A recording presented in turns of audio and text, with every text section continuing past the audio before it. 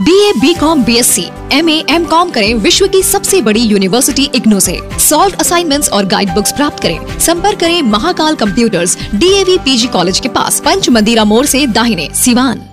निकोरिया मासिक अनियमितताएँ, बच्चेदानी में गांठ, बच्चेदानी बाहर निकालना और डिलीवरी से जुड़ी हर समस्याओं के लिए आज ही आए डॉक्टर वंदना कुमारी के पास। पता है डॉक्टर रामाजी चौधरी से 100 कदम पूरब, डॉक्टर कॉलोनी सिवानी। अधिक जानकारी के लिए नीचे दिए गए नंबर पर कॉल करें। क्या गोपालगंज की तरह ही मुजफ्फरपुर में भी तेजस्वी यादव को सता रहा था हार का डर? इसलिए यहाँ नहीं उतारा अपना उम्मीदवार।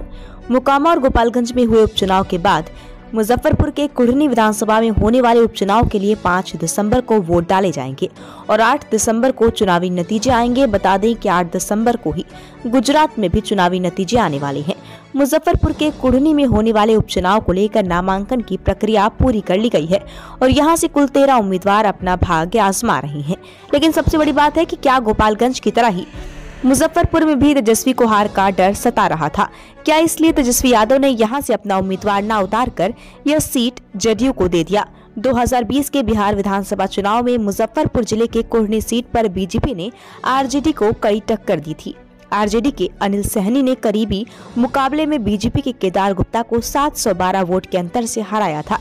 इस सीट पर अभी तक राजद का कब्जा था। ऐसे में अब राजद इस सीट पर चुनाव न लड़कर यहाँ से जेडीयू को ये सीट दे दिया है। इस सीट पर जेडीयू ने मनोज कुशवाहा को अपना उम्मीदवार बनाया है। सवाल यह है कि गोपालगंज में जिस तरह से एमवाई समीकरण पूरी तरह से बिखरा हुआ नज़र आया, उसी को देखते हुए तेजस्वी ने ये सीट जेडीयू को दे दिया। बता दें कि गोपालगंज उपचुनाव में शहाबुद्दीन समर्थकों की नाराज़गी तेजस्वी यादव के उम्मीदवार को भारी पड़ी और जिसका नतीजा ये निकला कि यहाँ से एआईएमआईएम उम्मीदवार अब्दुल सलाम को बारह हज़ार से ज़्यादा वोट मिला और तेजस्वी यादव की पार्टी से चुनाव लड़ रहे मोहन गुप्ता को हार का सामना करना पड़ा। लेकिन मुजफ्फरपुर में भले ही ये सीट जेडीयू के खाते में चली गई हो, बावजूद इसके ये माना जा रहा है कि यहाँ पर भी गोपालगंज की तरह ही मुस्लिम वोटरों की नाराज़गी का खामियाजा महागठबंधन को उठाना पड़ सकता है। बिहार के मुजफ्फरपुर जिला कुर्नी विधानसभा क्षेत्र पूरी तरह से ग्रामीण इलाकों के तौर पर देखा जाता है। कुल तीन लाख दस हज़ार नौ सौ सत्तासी मतदाता वाले इस इलाके के जाति समीकरण की बात करें तो पहले नवंबर पर लगभग चालीस हज़ार मतदाताओं के साथ कुशवाहा जाति खड़ी है।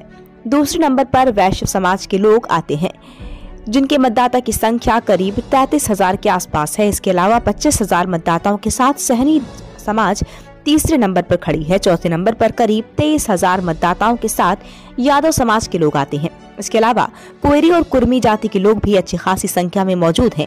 वहीं अनुसूचित जाति और अनुसूचित जनजाति मतदाताओं की संख्या लगभग 19 प्रतिशत है और यहाँ मुस्लिम मतदाताओं की संख्या भी लगभग बाईस हज़ार के आसपास है। जानकारी के अनुसार इस विधानसभा क्षेत्र में अग्री जाति के करीब पैतालीस हज़ार मतदाता भी मौजूद हैं। इसके अलावा बाकी बचे वोटर अन्य जातियों से आते हैं।